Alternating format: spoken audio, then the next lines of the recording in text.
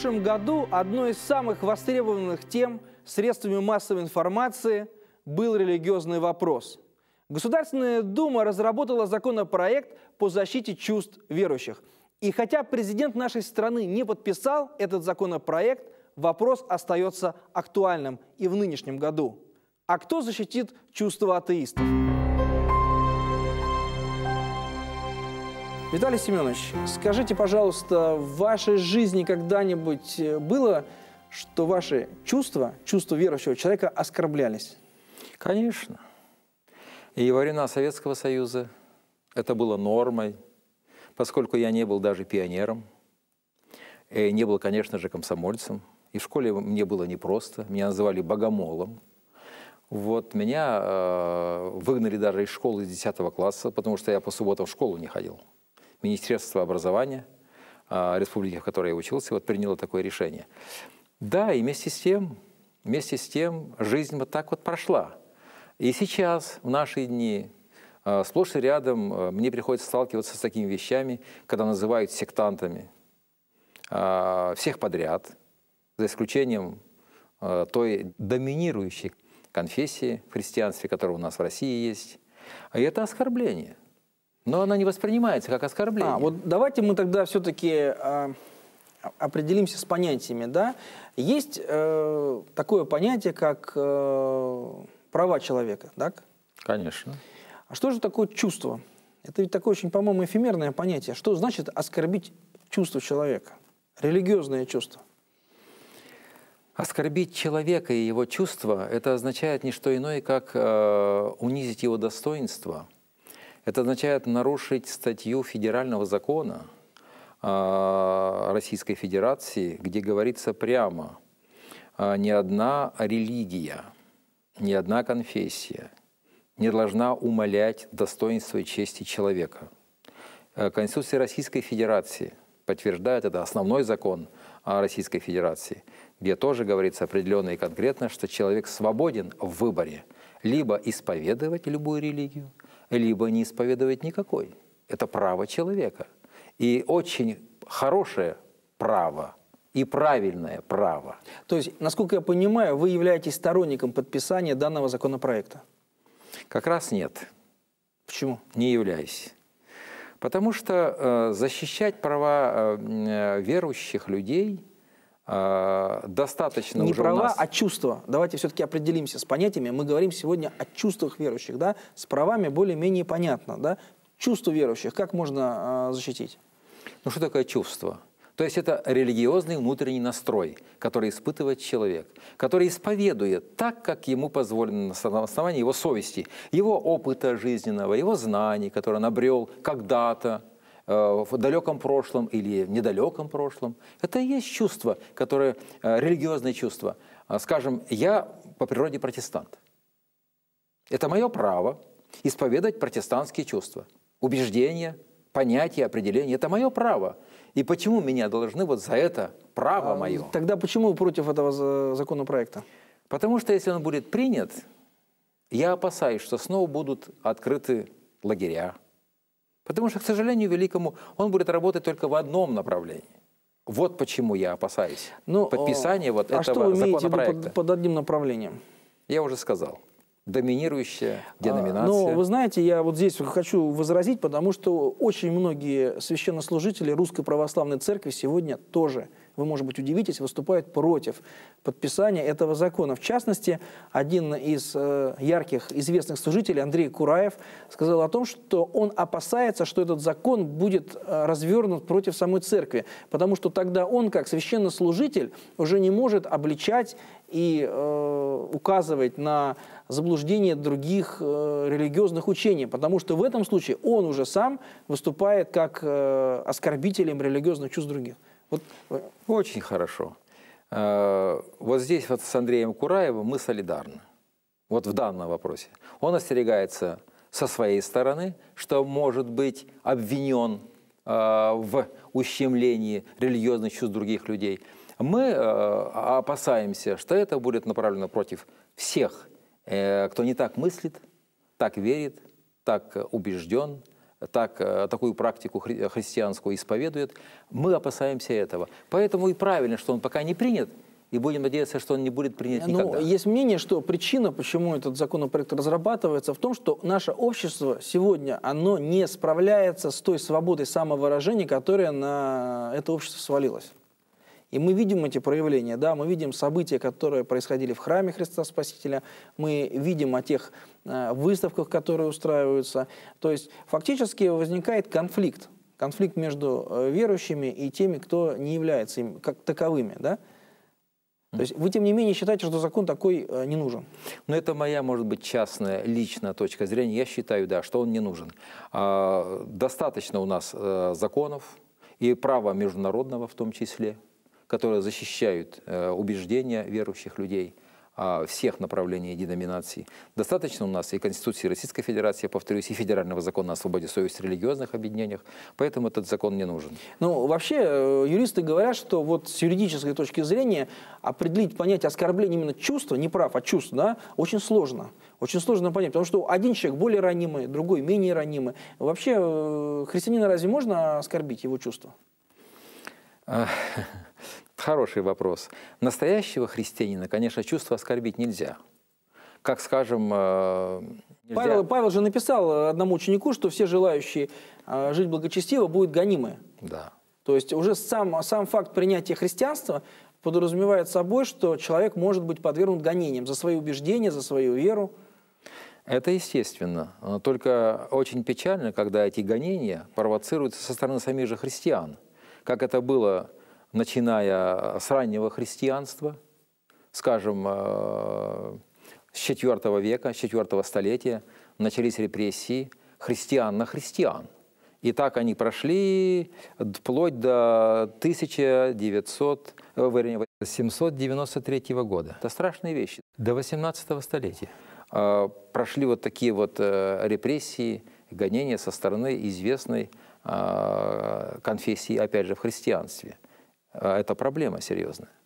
Но вот вы говорите о чувствах верующих, а тем не менее, что, разве у неверующих чувства другие, чем они отличаются? Получается, что мы сейчас говорим о том, что э, у кого-то есть большее преимущество, да, какая-то возникает каста, то есть уже по определению, если я верующий человек, то у меня есть преимущество перед атеистом, агностиком, ну, человеком, который вообще не является верующим. К сожалению, вот сегодня в России такая тенденция обнаруживается. Если вы атеист, то у вас возникают серьезные проблемы. Как все быстро поменялось. Во время Советского Союза было с точностью да, да наоборот. Как раз если вы убежденный атеист и коммунист, э, то у вас и продвижение по служебной лестнице а, и, и так далее, и так далее. Но если вы верующий человек, у вас могут быть проблемы, и они действительно были. Сейчас наоборот стало. Если вы атеист, то у вас нет никакого продвижения по служебной лестнице, даже в рядах МВД, например. Я вот недавно был в Москве на научно-практической конференции, которая называлась «Секуляризм. а, Угроза современному обществу». И там выступал э, полковник МВД, я не буду называть его фамилии, он говорил прямо, доклад у него был, он говорил прямо, что если вы атеист и в рядах МВД находитесь, у вас проблемы будут по продвижению по служебной лестнице. Странная ситуация. Не правда ли? Ну так вот, возвращаясь к вопросу, чувство атеистов отличается от чувства верующих? Наверное, чувства одинаковы. Что у атеиста, что у верующего. Это его неотъемлемое право, которое дано ему Богом по определению. И он может иметь э, эти чувства либо как человек верующий, либо как атеист. Это его право. И Бог не посягает на это право, что опять-таки интересно, само по себе. Потому что когда Бог создавал человека, Он наделил этой свободой выбора человека и правом выбора. Вот Бог почему-то уважает выбор и чувства любого человека. Но вот, к сожалению... То есть проблема исходит не от самого Бога, не от его принципов, а исходит от тех людей, которые называют себя сегодня людьми верующими. Так? Вот к горькому сожалению, да. Ну, потому что когда сегодня на экранах видишь таких вот воинствующих христиан, которые ну, называют себя верующими людьми, то становится как-то не по себе. Вот вспоминается роман Стругацкого «Трудно быть Богом». Там тоже в результате переворота э, к власти приходят религиозные силы, и для народа это не является благом. Э, так каким образом сегодня можно и нужно защищать э, права или чувства атеистов? Нужно ли вообще? Получается, что да, нужно. Вот э, опять же, к сожалению, горькому. И, и, наверное, чем дальше в лес, тем больше дров, как на Руси у нас говорят, да? Чем ближе мы или больше дальше продвигаемся мы в течение времен, тем, тем более это ярче будет э, вырисовываться, представляться, высвечиваться, а когда атеисты нуждаться будут в защите э, их прав, их убеждений, их чувств. Парадоксальная ситуация.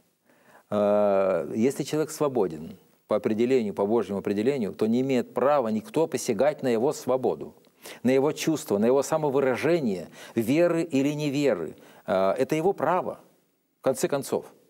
И он ответственен в данном случае перед Богом, а не перед обществом, не перед, а, извините меня, церковными какими-то иерархиями. Он ответственен лично перед Богом. Как индивидуум, как человек, созданный по образу и подобию Бога, он имеет на это право выражать свои убеждения так, как он выражает их – но вы не считаете, что сегодня идет некий такой накат на традиционные религии, на христианство, на тот же ислам? Э, появляются, например, карикатуры, э, появляются какие-то выставки, да, где, на мой взгляд, намеренно делается так, чтобы оскорбить, да, ну, попытку вот эту оскорбить, спровоцировать верующих на какие-то ответные действия. Нет вот какого-то такого, как говорят сегодня, тренда в этом направлении?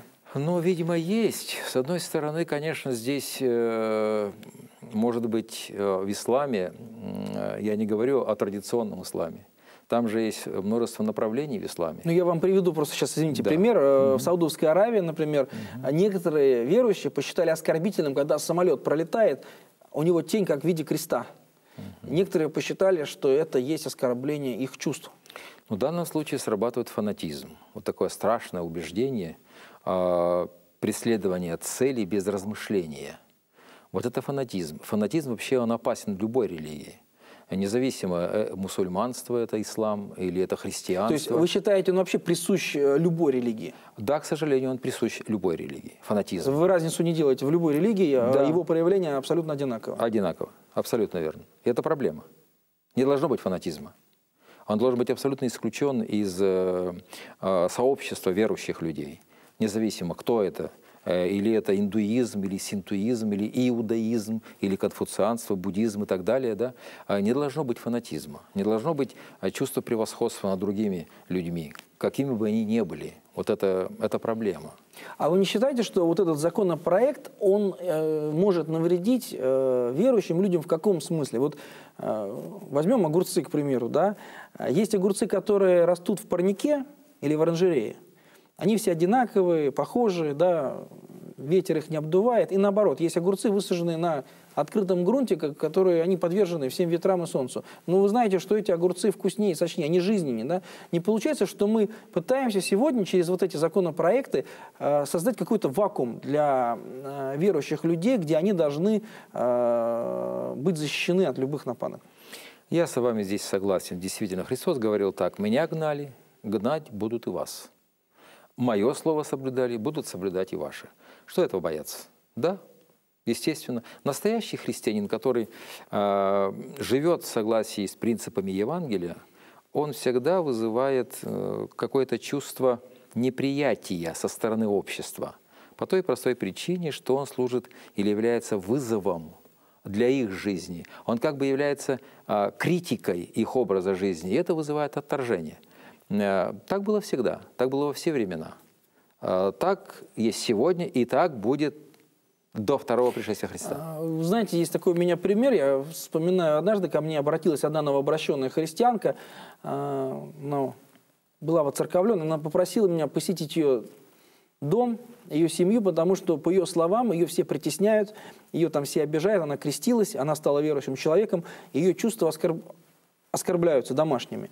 Но когда я посетил ее дома, познакомился с ее мужем, с ее детьми, то я понял, что защищать надо как раз не ее, угу. а их, ну. от ее вот этого такого неофитства, от вот этой вот, э, можно сказать, агрессии. То есть вот эта проблема, она сегодня остается. И э, среди моих друзей, знакомых, людей, которые не являются неверующими людьми, нейтральными, у них есть сегодня вот эта обеспокоенность, что их чувства тоже могут быть затронуты и э, они нуждаются также в защите. Да, получается, что так. Это действительно правда. Э, сами христиане порой провоцирует и отталкивает других людей, даже и близких своих, и родных, вот своим таким фанатичным отношением э, к религии, отталкивает других людей от э, принятия Христа. Скажем, э, как говорил Христос о книжках и фарисеях того времени, в первого века. Вы обходите море и сушу, чтобы обрести хотя бы одного. А когда находите его, делаете хуже себя в несколько раз – а, значит, э, предлагая им быть сынами гиены огненной. Иными словами, вы пытаетесь людей обратить в веру, обходите море и сушу для этого, но когда их обретаете, делаете хуже, чем вы есть сами. Какой смысл в таком обращении тогда и в таком христианстве? Ведь э, христианство подразумевает действительно уважение всех других людей. А вот вы считаете, возможно вообще диалог между верующими людьми, атеистами, к примеру? Возможность договориться, как говорится, на берегу о правилах, о взаимоотношениях, кто что может делать и что не может? Сегодня такая тенденция сложилась э, у нас в стране, что именно с атеистами э, больше у нас точек соприкосновения, нежели с верующими людьми – в нашей России в стране стало. Взять, например, такие правоохранительные, правозащитные, вернее, организации, как а, Общероссийская общественная организация содействия защите свободы совести, в скобках МАРС. Туда входят в основном атеисты, люди неверующие, люди высокообразованные, интеллектуалы, а, люди мыслящие, люди глубоко а, сопереживающие о России и ее будущем. Да, а в том числе а, люди, которые заботятся о свободе совести в нашей стране.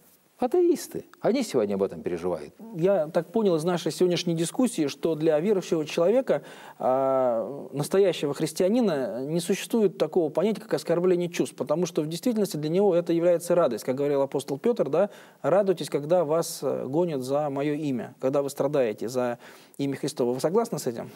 А, здесь есть э, один такой нюанс – он в чем заключается. Пока существуют законы, которые гарантируют право свободы и право совести, исповедовать свободно любую религию или не исповедовать никакой, а, надо апеллировать к этим законам. А как апостол Павел тот же, когда его в Риме ремнями растянули и хотели бить его без суда и следствия, он сказал, «Я римский гражданин. Как вы собрались меня бичевать без решения суда?» Его тотчас развязали и отпустили. Есть законы. Законам можно апеллировать, пока они есть. Хорошо, спасибо, Виталий Семенович, за участие в беседе. Будем надеяться, что в России будет такое законодательство, которое позволит всем ее гражданам чувствовать себя свободными и счастливыми. Это была программа «Контрасты души». До свидания.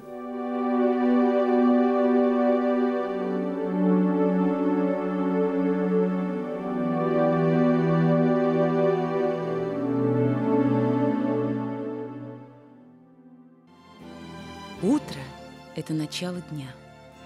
Рождение – начало новой судьбы. Начало вдохновляет. Новое дает надежду. Мы считаем, что каждый человек может начать новую жизнь, открыв однажды Библию. Если многое в ней вам покажется непонятным, не огорчайтесь. Это начало пути. Мы с радостью поможем вам преодолеть сложности. Заочные библейские курсы «Новая жизнь» – это изучение Библии по урокам – которые, по вашему желанию, мы будем вам регулярно, бесплатно высылать. Когда вы выполните половину уроков, мы пришлем вам в подарок книгу «Путь ко Христу».